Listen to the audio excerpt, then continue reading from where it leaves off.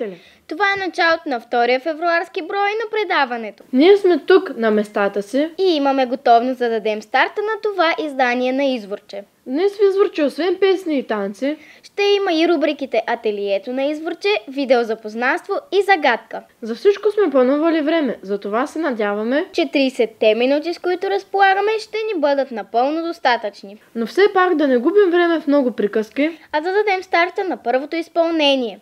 Старт, старт, старт. Защо три пъти? Защото започваме с трите пъти.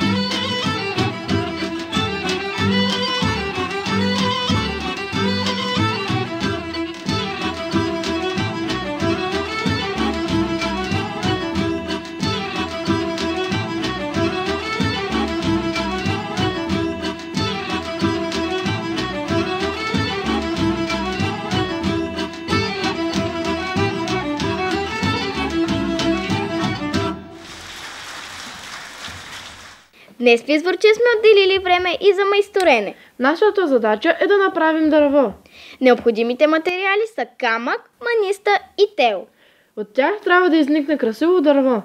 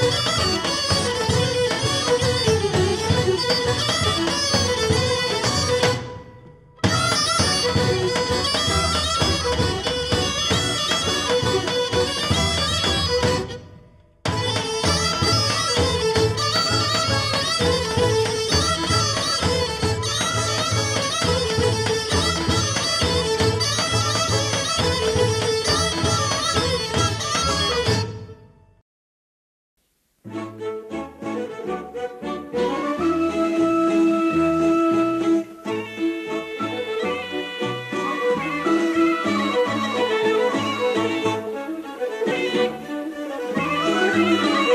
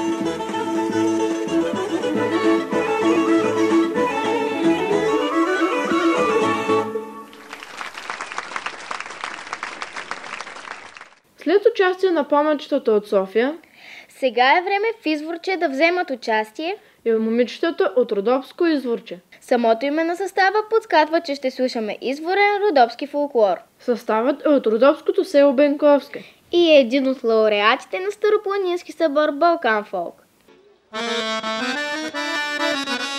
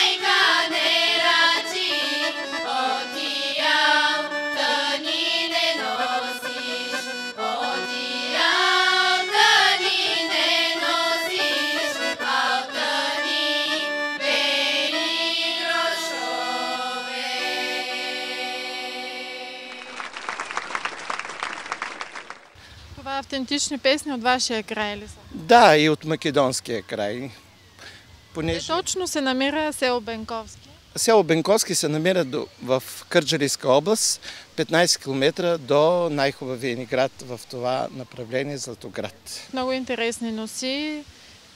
Автентични ли са? Да, автентични са. А, поне на Виктория носията е абсолютно автентична. Тя е от село Старцево, близко до Златоградска община. А другите носи са популярни в родопски стил. Кого е тази носия? Това е лично моя носия. По принцип сега тези носии много трудно се намират, почти не се намират. Лично изработена от баба ми е преди много години и си я пазя за спомен от нея.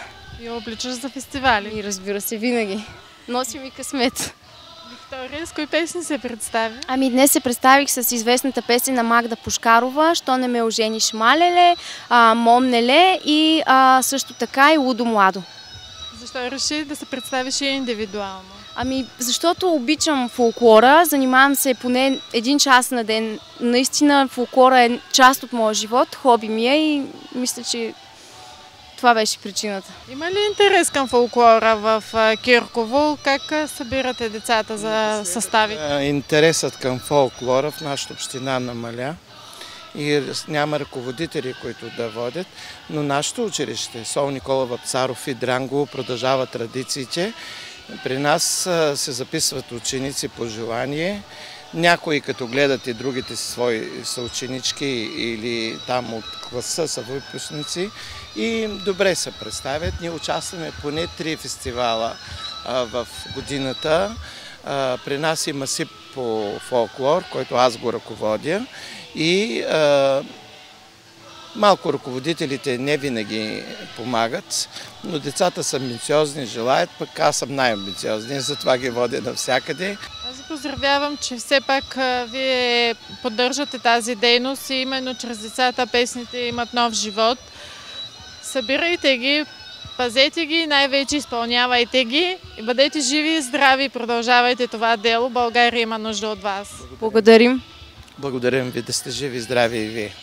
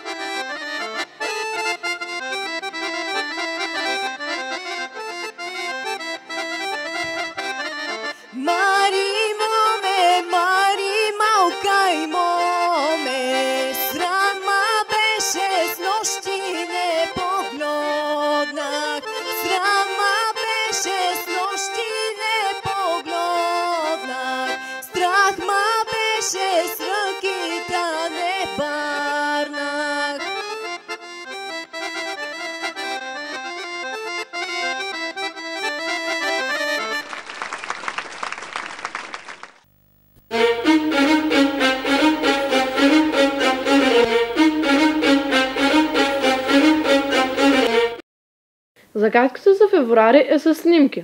Ще ви покажем 4 снимки. Три от тях са тематично свързани. Вашата задача е да посочите номера на излишната. Коя от показаните 4 снимки е излишна? Снимка номер едно,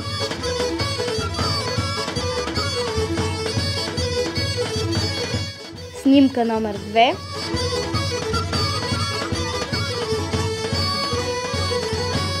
Снимка номер 3.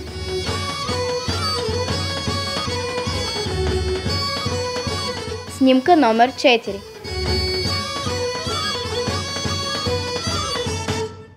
Припомнихме ви февруарската фотозагадка Смятаме, че тя е много лесна. и не би трябвало да ви затрудни. Сега ще ви припомним координатите за връзка с нас. Адресът ни е град Велико Търново, почтенски код 5004, почтенска котия 27 за детско фолклорно предаване Изворче. Телефонният ни номер е 062 62 34 64. Имейлът на предаването е изворчето клъмба abv.bg. Има и крайен срок. Той е до края на месец февруари. Ah!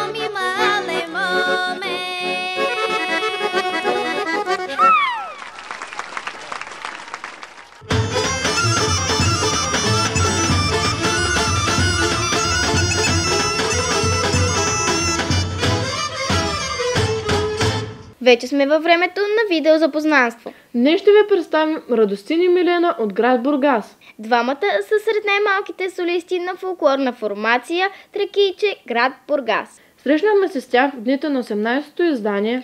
На Старопланински събор Балкан Фолк. Сега ви даваме възможност и вие да се срещнете и запознаете с тях.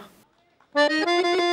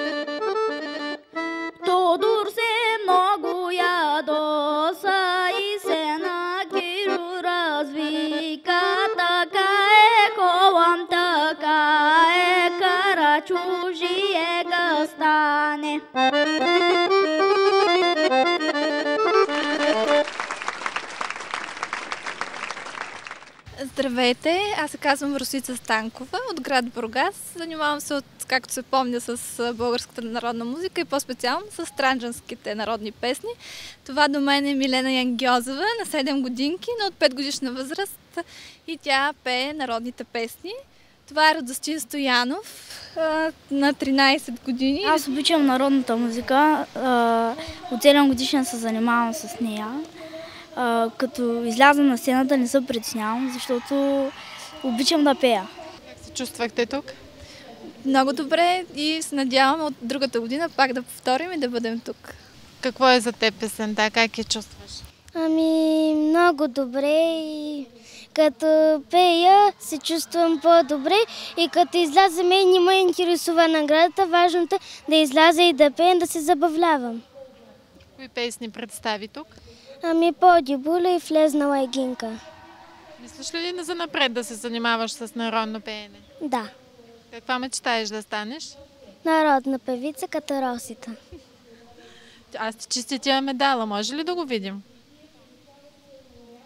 Носи го с гордост, показвай го на приятели и продължавай да пееш. Обещаваш? Да.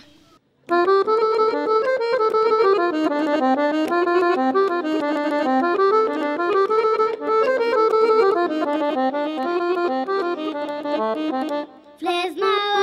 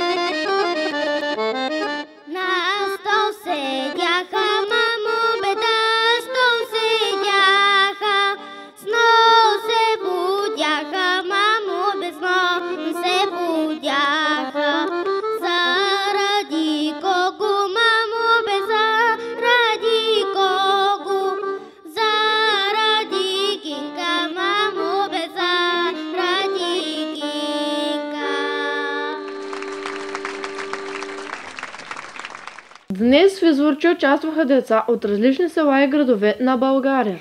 Те са новите апостоли на святото дело да се запази българския фолклор. Поздравяваме ги за положените усилия Сега ние ви оставаме да видите последното изпълнение за днес. и ви казваме довиждане до следващата седмица.